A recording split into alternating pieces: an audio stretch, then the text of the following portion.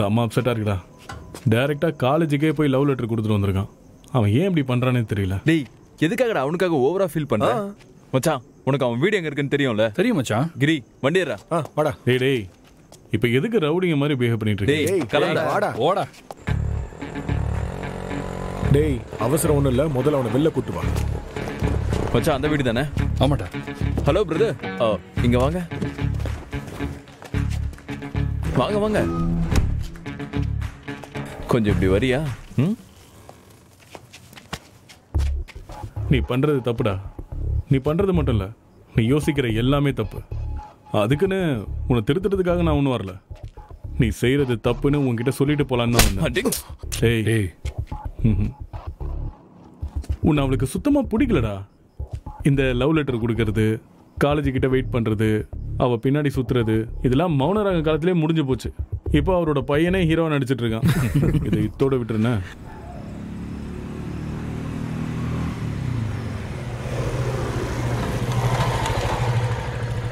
டேய். சரி மச்சான் நீ இப்ப என்ன பண்ண போற? நான் அந்த கார்னர்ல வெயிட் பண்றேனே தேங்க்ஸ் மச்சான் ரொம்ப முக்கிட்டு இருக்காம சீக்கிரமா டென் முடிச்சு மினிட்ஸ் மச்சி டேய் ஹாய் திவ்யா. வீட்ல யாரும் இல்லையா? பாத்து வா. பாய் மச்சான். அது இல்லடா. நான் தினமும் மகேஷோட போறத அவங்க பார்த்துட்டாங்கன்னு பச்சையா தெரியுது. ஓ. இருட்டில் கரெக்டாக நாலு சிலுவைட் கண்ணுக்கு தெரிஞ்சுது. மணிரத்னம் படம் மாதிரி. அப்போவே உள்ளுக்குள்ள கிளி கத்துச்சு. ஏதோ ஒரு டேஞ்சர் வருதுன்னு. ஆனால் அது எனக்கு இல்லை. அவனுங்களுக்கு. லைட்டாக உள்ளுக்குள்ள அல்லு இருந்தது.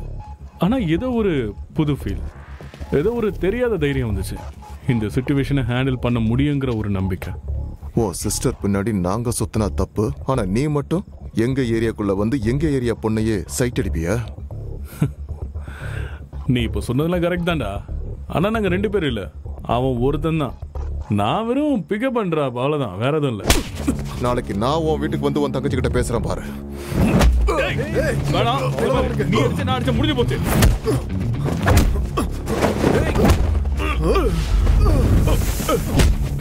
கரெக்டா ஆறு ஷாட் ஆறு பஞ்சு கொடுத்தான் மாமா. ஒவ்வொரு பஞ்சும் அவனை அவ்வளவு பவர்ஃபுல்லா இருந்தது. ஒருத்தனும் எந்திரிக்க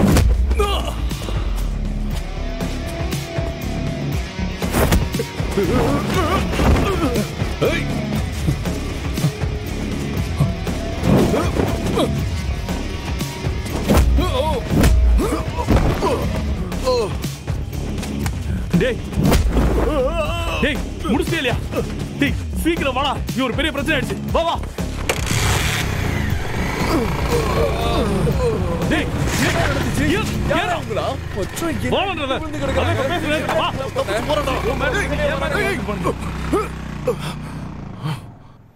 நாளைக்கு கல்யாணம் ஆகி எனக்கு ஒரு பையன் வந்தானா அவன் கிட்ட பெருமையா சொல்லுவேன்.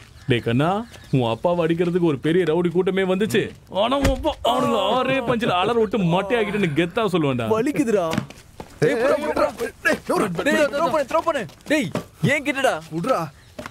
இனி லைஃப்ல இந்த மாதிரி ஒரு சுச்சுவேஷன் வந்துச்சுன்னா அதை ஈஸியா ஹேண்டில் பண்ணலாங்கிற நம்பிக்கை வந்துருச்சுடா. உள்ளுக்குள்ள ஒரு கான்ஃபிடன்ஸ் ஆ வந்துருச்சு ஓகே ஓகே. லைஃப்ல ஜெயிக்கணும்னா இந்த கான்ஃபிடன்ஸ் தான் ரொம்ப முக்கியம். டேய் காஸ்ட்லியா இருக்குடா. எனக்கு ஓகே மச்சி. திவ்யா தானே பே பண்ண போறா? ஆனா உனக்கு தான் கொஞ்சம் கஷ்டம் இல்ல யாரா அந்த பொண்ணு? செம்மையா இருக்கா? இவ்வளவு பார்த்துக்கிட்டே இருக்கலாம் போல இருக்கு. இன்னும் நல்லா பாரு. நான் அப்படியே போய் திவ்யா கிட்ட சொல்லிடுறேன். அதுக்கப்புறம் அவன் பார்த்து சீ, உனக்காக தான் நான் பார்த்தேன் நீ இப்படி சிங்கிளா சுத்திட்டு இருக்கிறது எனக்கு ஒரு மாதிரியா இருக்குடா. திவ்யா மடியில படுக்கும் போதெல்லாம் உன்னை நினைச்சு நான் எவ்வளவு கில்ட்டியா ஃபீல் பண்ணிருக்கேன்னு உனக்கு தெரியுமா? என் ஃப்ரெண்ட் இப்படி தனியா சுத்தும் போது நான் மட்டும் என்ஜாய் பண்றது எனக்கு சுத்தமா பிடிக்கலடா. இந்த பொண்ணுங்க அப்புறம் இந்த காதல் இது எல்லாத்தையும் கரெக்டா ஹேண்டில் பண்ணணும்னா நமக்குள்ள ஏதோ ஒன்று இருக்கணும்டா. அதுக்கு வேற லெவல்ல ஒரு கான்ஃபிடன்ஸ் இருக்கும் உண்மைதான் மச்சான் இது வரைக்கும் எனக்கு அந்த கர்மம் வராதது எனக்கு ரொம்ப நல்லதா தான் போடுது. கொஞ்ச நாளாவது நல்ல பையனா இருக்கலாம் இல்லையா? பொண்ணு மாதிரியா? ராஜா எனக்கு அந்த கான்ஃபிடன்ஸ்லாம் லைஃப்ல நிச்சயம் வரவே வராது. நான் ஒரு பச்சை மண்ணுடா உனக்கு என்ன பத்தி தெரியல. சின்ன வயசுல இருந்து பாக்குறேன் எனக்கு தெரியாதா? நீ சொல்றா கண்டினியூ வீட்ல எனக்கு ரெண்டு தங்கச்சிங்க இருக்கிறதுனால எனக்கு பொண்ணுங்களை பத்தின விஷயம் எல்லாம் நல்லா தெரியும். அப்படியா? அவங்கள ஈஸியா புரிஞ்சுக்க முடியும்னு நினைச்சிட்டு இருந்தேன். ஆனா உண்மை என்னன்னா ஒரு மண்ணாங்கட்டி கூட எனக்கு தெரியாது. சொன்னியே, இது ஒரு அது இருக்கட்டும். நீ எப்படி அதெல்லாம் மேனேஜ் பண்ற? மச்சான் அது என்னன்னா நீ எதுவும் சொல்ல வேண்டாம். கண்டிப்பா உங்க ரெண்டு பேருக்கு நடுவுல பேச்சே இருக்காது. ஒன்லி ஆக்ஷன் தான். கரெக்ட் தானே? அசிங்கப்படுத்தாதடா. Flashback now back to Sukanya topic நம்ம ஆளோட செகண்ட் லவ் நீ என் கைய கூட பிடிச்சதில்ல. நான் உன்னை லவ் பண்றதை விட நீ என்ன மறந்துடுறது ஈஸி திஸ் இஸ் ஓவர் என்னம்மா சொன்னடா. அப்போ அவளுக்கு பதினாறு வயசு தானே? ஒரு நல்ல பையனா இருக்கணும்னு நினைக்கிறது தப்பா? கையை கூட பிடிக்கலையாண்டா? நெக்ஸ்ட் மல்லிகா. நம்ம ஆளோட மூணாவது லவ் காலேஜ்ல ஒரு பொண்ணு இருந்தா. அவளுக்கு என்ன பிடிச்சிருக்குன்னு சொன்னா நான் அவ கையை விடவே இல்லை. சொல்லப்போனா விடவே கூடாதுன்னு தான் ட்ரை பண்ணேன். விடு. ஆனா அதே ரீசனா சொல்லி என்னை கழட்டி விட்டு போயிட்டா. ஹவு டே யூ உன்னை டீசென்ட்னு நினைச்சேன். ஆனா என்ன டிசப்பாயிண்ட் பண்ணிட்ட please leave me Mallika please bye இதுக்கப்புறம் இப்படி பண்ண மாட்டேன் மல்லிகா. கையை பிடிக்கலன்னு ஒருத்தி பிடிச்சதுக்காக ஒருத்தி. அப்போதான் எனக்கு ஒரு விஷயம் புரிஞ்சுது. நமக்கு லவ்ங்கிற ஒண்ணு நம்மளை தேடி அதுவா வரணும். நம்மளை போட்டு தாக்கணும்.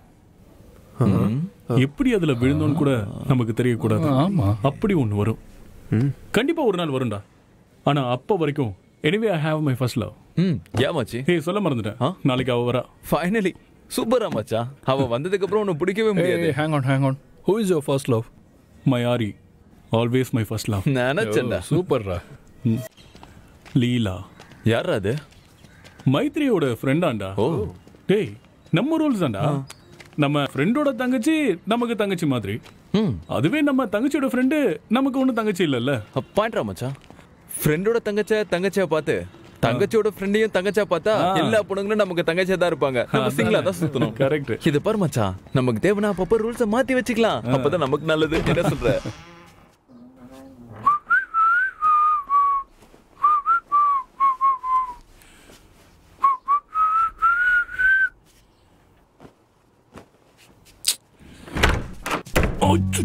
கரெக்டா மூடிட்டேன். இல்லைன்னு வச்சுக்கேன் ஐம் சாரி பாத்ரூம் யூஸ் பண்ணணும்.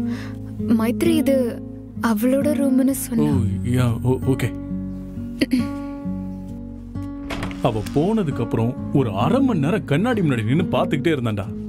அவ என்ன பார்த்தாங்கிற நினைப்பை விட அவ என்ன பார்த்தா என்ன பிடிச்சிருக்கா இல்லையாங்கிற நினைப்பு தான் உள்ளுக்குள்ள இருந்து சொன்ன வரும் நம்ம கண்டிப்பா வெளியே போலாம். அதை பத்தி தான் நினைச்சிட்டே இருந்தேன். இது என் ஃப்ரெண்ட் பண்ணாத? இவங்க எல்லாரையும். ஏன்னா, இது எங்க அண்ணா. யா இப்பதான் மீட் என்னடா? ஏண்டா ஏதாவது சாப்பிடுறியா? பஜ்ஜி பண்ணிருக்கேன். வேணும்னா பால் சுடு பண்ணி தரவா? மா பாலா? கரெக்டா சொன்ன. இப்போ பால்லாம் குடிச்சிருக்கேன். நீ பிளேட் கொடுங்க. நான் பஜ்ஜியை சாப்பிட்றேன். எங்க? பஜ்ஜி சாப்பிடுறீங்களா? ஆக்சுவலா என்ன? என் தங்கச்சி ஃப்ரெண்ட்ஸுங்க நிறைய பேர் வந்துட்டும் போயிட்டும் இருப்பாங்க. சரி. ஆனா அவ ஒருத்தி மட்டும்தான் என்ன போட்டு குடஞ்சிட்டு இருக்கா மச்சான். உனக்கு தெரியுமா? அவ சூப்பரா இருப்படா. எப்படி சொல்றது? சொல்றேன். ஷீ இஸ் டிஃப்ரெண்டா அவ என்ன பாக்குறாளா இல்லையாங்கிற ஏக்கத்துல கரெக்டா இங்க ஹேருக்கும் காலருக்கும் நடுவுல அந்த கேப்ல ஒரு ஹிண்ட் ஸ்டார்ட் ஆச்சு.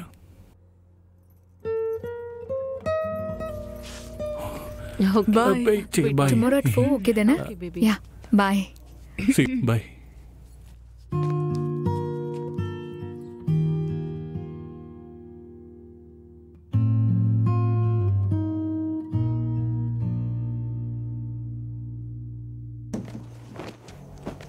என்ன ஃப்ரெண்ட்ஸ் எல்லாரும் போயிட்டாங்க போல இருக்கு? ஹே நல்லா இருக்கான்ல? வாட் நீ அவளை சரியா பாத்தியா இல்லையா? யார? ஏய் உன் ஆக்டிங்க நிறுத்துறியா லீலாவ?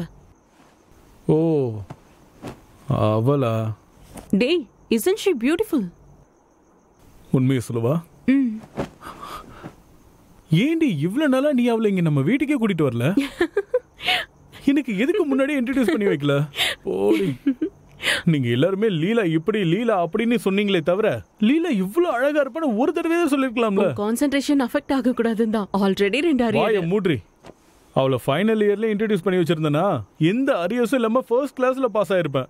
அப்பவே அந்த ஜூன்லயே முடிச்சிருப்பேன் engineering she is not a distraction she is an inspiration she is Leela Joseph? From Alleppey Kerala what சும்மா சொன்னேன்டா. அவ லீலா சத்யமூர்த்தி ஃப்ரம் கோலாப்பூர் மகாராஷ்டிரா. இந்தியா? அப்பா தெலுங்கு அம்மா மகாராஷ்டிரா. இப்ப நீ உடனே பேக்க பேக் பண்ணிட்டு அங்க கிளம்பிடாத. அவ அங்க ஒண்ணும் இல்ல இங்கதான் இருக்கா. நாங்க ரெண்டு பேரும் சேர்ந்து ஒரு கோர்ஸ் ஜாயின் பண்றோம் ஒரு டைரக்டர் கிட்ட. அதோட அவ நாளையில இருந்து நம்ம வீட்ல தான் இருக்க போறா. அவளோட அப்பா நாளைக்கு அவளை பார்க்க வராங்க. இந்த இடம் கம்ஃபர்டபுளா இருக்கான்னு செக் பண்ண. உனக்கு இதெல்லாம் சொல்லணும்னு அவசியம் இல்ல இருந்தாலும் சொல்றேன். பி குட் என் மானத்தை வாங்கிடாத ம் ம்,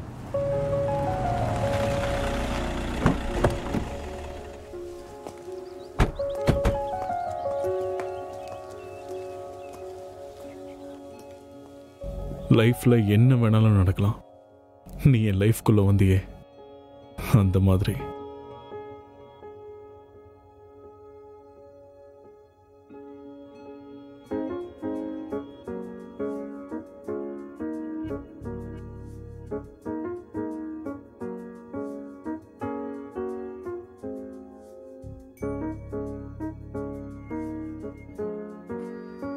சின்னா ஆ